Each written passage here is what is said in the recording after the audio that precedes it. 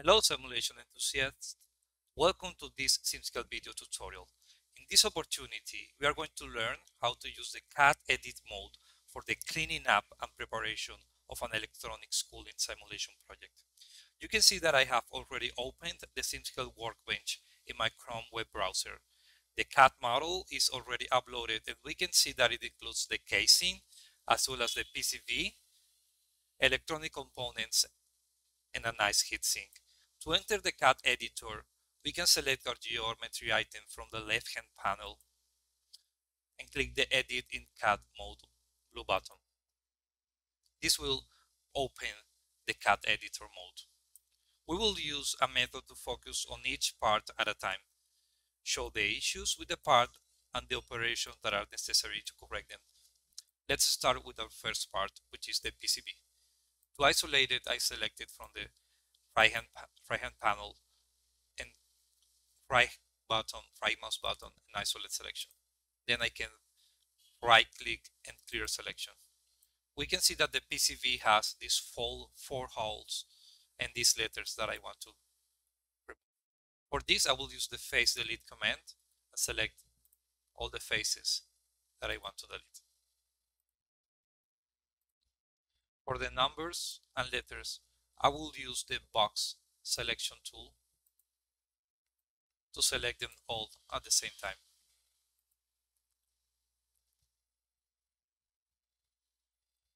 Now you can see that my PCB is clear.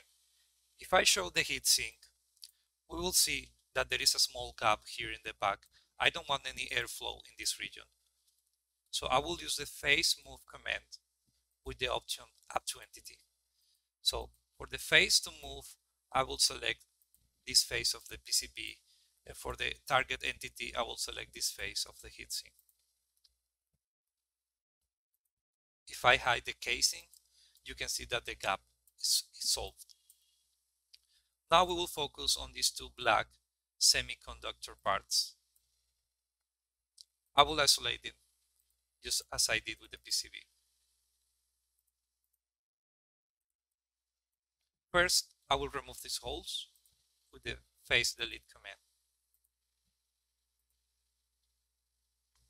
Then as you saw, they are intersecting with the PCB. I will use a Boolean subtraction operation on the two semiconductors using the PCB, which will cut them. As we are left with these small bodies that I don't want for my simulation, I can use the body delete command.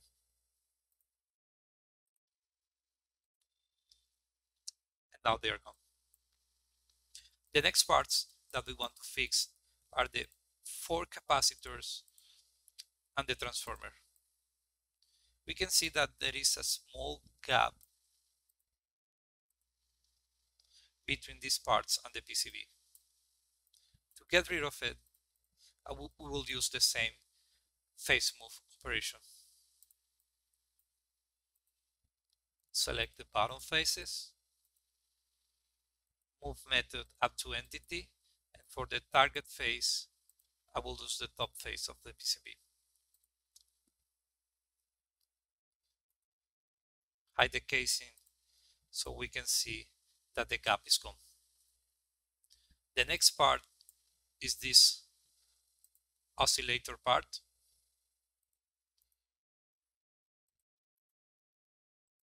I want to get rid of these chamfers and also of the bottom pins. So I will use the face delete command.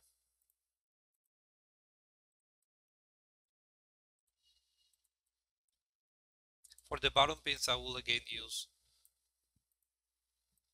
the box selection tool, but it selects this bottom face. So I will remove it from the selection. Now you can see that my face is clean. And we can see that there is no gap with the PCB. Now we will focus on the heatsink. Let's isolate it. The heatsink has a number of holes and mounting drills that I want to delete. So again, I will use the face delete command and select all of the holes the drills. For the drills, I need to select both the side and bottom faces. That's it for the top. Now let's check the bottom. There are two this region, also two underneath the mounting pegs.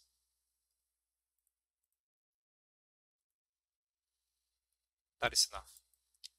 The next issue that I noticed is a is an intersection between the heat sink in this region with this semiconductor. So what I will do is to use a Boolean subtraction operation using this semiconductor part. If I had it now, you can see that the this, this small tail was removed and the intersection is off. The next part that I want to focus on is this fan mounting. You can see that the mounting holes are, not in contact with the pegs. So to fix it, the quickest way is to first delete the holes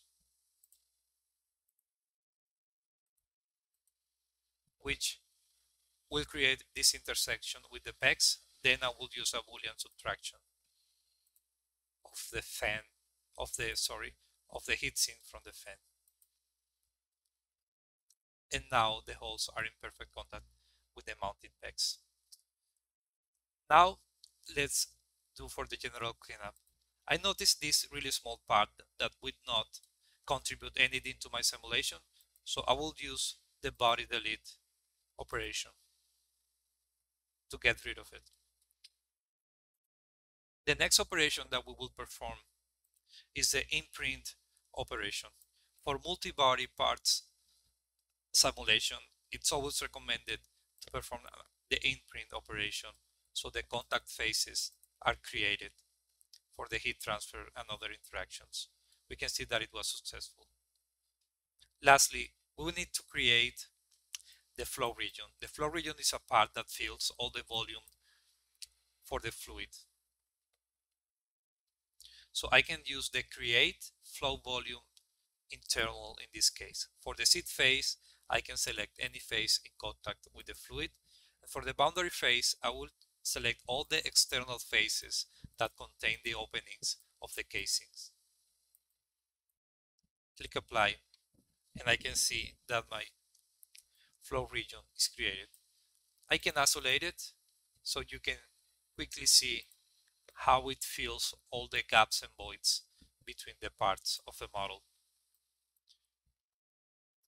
Now that we perform all the necessary operations, we can save our work with the blue export button.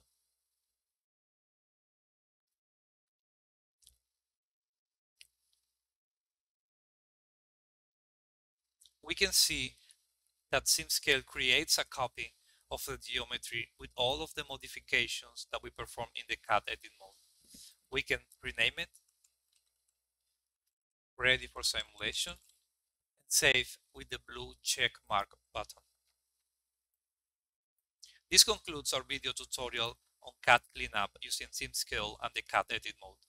Thanks for your attention and let's meet on the next SimScale tutorial. Happy simulation!